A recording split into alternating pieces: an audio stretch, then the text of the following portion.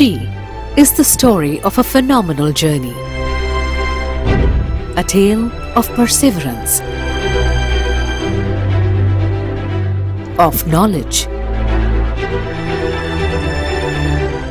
courage, and conviction. She is energy.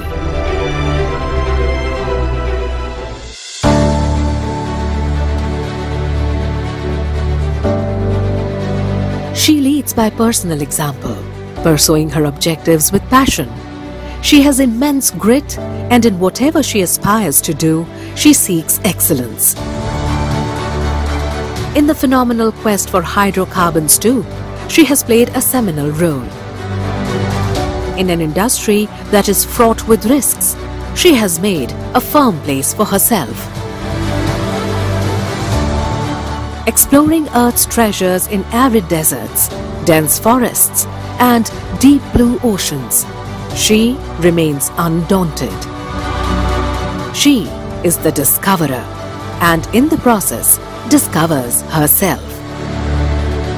In the laboratories or control rooms, on the derrick floor or workstations, she chases the molecule from the core of the earth to the refinery. A geologist, a production engineer, a driller, or a human resource manager. She wears many hats and sets benchmarks for others to follow. Creating a safe workplace environment has been a priority for ONGC and with growing number of girls joining ONGC, getting recruited to work in different uh, work centers, our endeavor is that the girls should feel safe, secure and there should be no inhibitions when it comes to pursuing their dreams, their vision while working in the remotest of corners. We are going to be helping them in creating further capabilities, capacities by way of providing them the best in class training opportunities and also empowering them to take decisions at different levels in different areas. Showing great determination, clarity of thought, planning and enterprise, she dreams to scale newer heights.